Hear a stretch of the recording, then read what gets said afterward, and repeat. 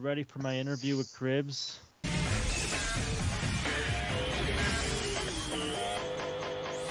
Knock, knock, knock. There. What the? Braid. It's fucking ranking team, dude. Talk again. Ding dong, whatever. Okay, let's go. Dude, knock, knock. Hi. Uh, so this is my toolkit, my armor stand, you know, m- my starting equipment. My, my I got my my work area. I got my jukebox over here. You know, where I like to relax and play some tunes. You know, some of that wicked shit. Uh, whoop whoop. I like that. Uh, you know, like you like um like Kiss. Yeah. Who, who's this bum?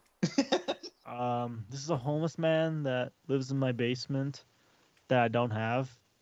He just kind of digs himself up out of the ground at night, and I let him stay and chill out. He doesn't bother me. Well, let's, let's upstairs, shall we? Oh, he, oh, oh, how? Excuse me, sir. That's um, this is actually off limits. the Netty no no. So this is all we get. Well, the thing is, like, uh, It's a sex dungeon. you called me out. Hey. I'm sorry, sir. We're gonna take a peek. No, no, no, no, no, no. Oh, they're fucking freaks. Oh, you're you're, you're that book guy, huh? Okay, boss, just stand my right hustler, here. Wait. Stand here. These are porno mix.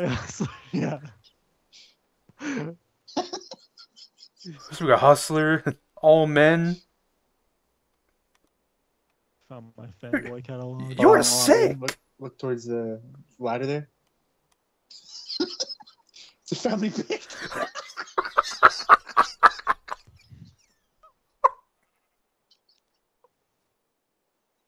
No, I house tour. Man, you guys are so gross.